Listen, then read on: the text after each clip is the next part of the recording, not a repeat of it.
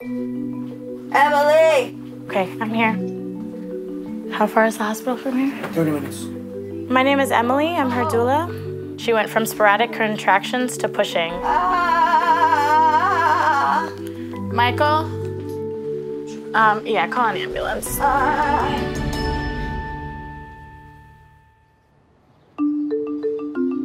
Do you want to go to the waterfall? Yes?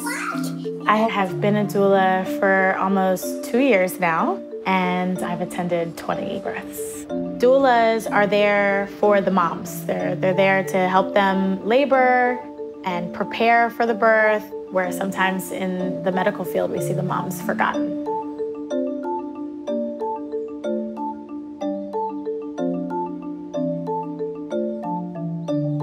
We all grow up, I feel like, in America not having great birth education. So when we think about birth, there's a lot of fear.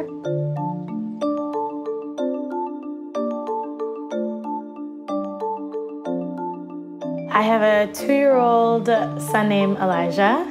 Helping a mom, I think it really helps to have been there before. Wow. this is my calling, and this is what I'm supposed to be doing, and I'll be doing this forever. We are 39 weeks and expecting our second child.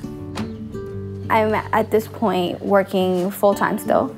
Exhausting, I think, is the best way to describe it, um, since you know there's less rest and more running around since we have a soon-to-be three-year-old. Mama, Amo. I think that it's hard when you're like being a full-time mom, full-time wife, full-time daughter, full-time sister, full-time employee, trying to be really good at a lot of different things, um, all at the same time. Oh, what am I making? I'm making tofu. Yes, and rice, and green beans. Okay. So we had a doula, and during our first pregnancy, we think it like ensured that we had the birth that we wanted and that we had um, plans for. Our first doula ended up going to school, so the second time around, we had to find someone. We decided to go with Emily because she was someone who we trusted. We thought that she would help to make sure that our second baby got here safely. Who's this for? A mama. For Mama? The biggest fear that I had has to be the first child and how much attention he gets. Hopefully, we are, we're able to balance them. Un beso para brother. Mwah. Crocs off. What about socks? Oh. Socks on? Stop, stop, dude, stop, dude. Who are you calling dude? Dude, dude. Me? A dude? Yes. Where did you learn that? In preparation for Jacob's arrival, Emily hosted uh, a blessing way.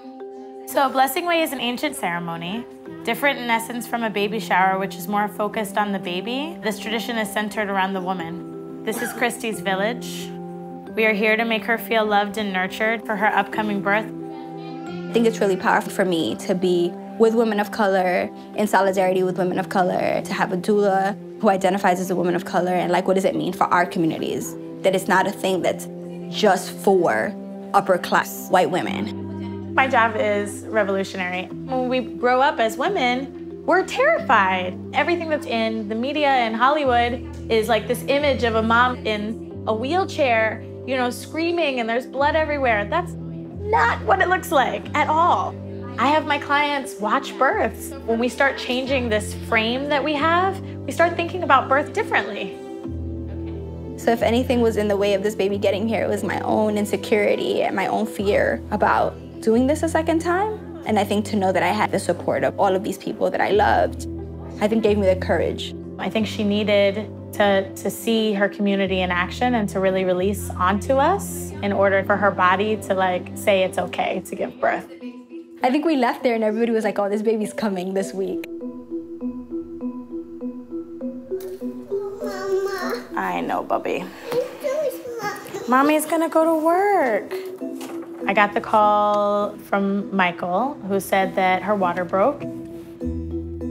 When I walked in, I noticed that she was on the couch holding a lot of tension in her body.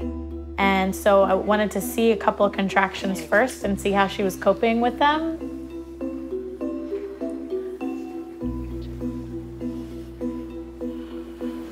You're in between, right? Mm. Are you you not feeling one right now? Mm-hmm. You are, okay. You want to relax as much as possible, let, let all that go. It starts getting into a pattern, like regularly 10 minutes for an hour, regularly nine minutes for an hour, you know, down to two minutes apart um, or one minute apart. And that's when you're fully dilated. So as soon as the pattern is established, we go to the hospital.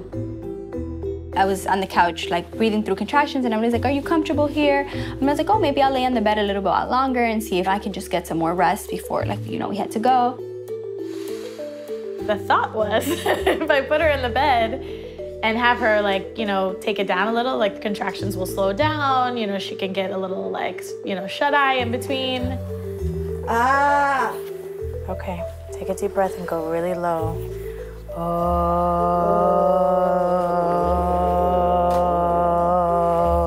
good. And a couple contractions into it, I noticed that she started making pushing sounds. And that's when I was like, um, Christy, what are you doing? and she was like, I'm pushing. And I was like, don't do that. Don't push. Uh-uh. Mama. I can't help it. Okay. Oh, shoot. Okay, okay, Oh, oh, oh no. okay. Take Oh, oh my God. The bag's ready and the car's ready? Yes. Okay. How far is the hospital from here? 30 minutes. I was definitely scared because I had to decide like, should I call 911? And knowing Christy goes fast, I knew we weren't gonna make it. And she doesn't have an elevator. All those things were going in my head like, I don't wanna have a baby in the stairs. I don't wanna have a baby in the car. Um, yeah, call an ambulance. EMS was there very fast. Um, walked in to kind of assess the situation. They had never been to a birth before. You're doing good, baby, okay? Because she's pushing already, so if, if we can wait, If we could deliver here, well, we're, we're- I think that's what. I mean, do you do you have experience with babies? Even though they had this amazing training, they didn't necessarily know what to do other than if something went wrong. At that point, as a doula, yes, we don't do anything medical, but sometimes we're the most qualified person in the room. I wasn't scared at any point of this process. Saying it out loud sounds a little odd to be like you're not scared, but I wasn't scared. I was a little shocked that it was happening so fast. Her sister is here now, and she's a doctor. You got it, Christy. You got it.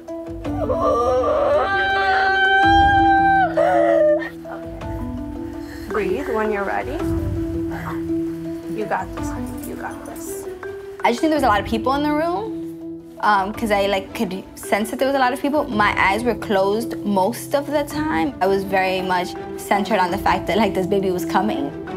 People think somebody delivered your baby, and I don't think anybody's delivering my baby, but somebody's catching my baby, and I'm delivering my baby. Good, Good mama. Good, strong, deep, deep. There you go, mama. That's it. There, you, go. Up, up. Shoulder one. Come on. One more point. There we go. Okay. It's a little like. One breathing.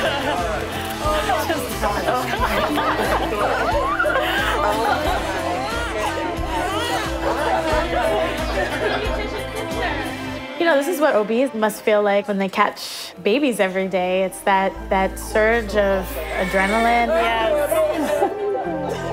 I definitely have a special place in my heart for all the babies that I've helped get earthside, as we say. But Jacob holds a special place. Oh, Michael. Come here. That could be your doula. Come here. Oh Honestly, I feel like it should be a a right that all women should be able to have doulas present because that support is really necessary, whatever that looks like. And it looks different for every birth. Who delivered you? They did a good job. You're fine. We were talking earlier about like second times mom, second time moms maybe not feeling like doulas are as important as they are like the first time. And clearly, in our case, we would have been like totally like lost. Like We're all entitled to having women support women. Um, so it's literally giving us an opportunity to feel encouraged to use the power that we have.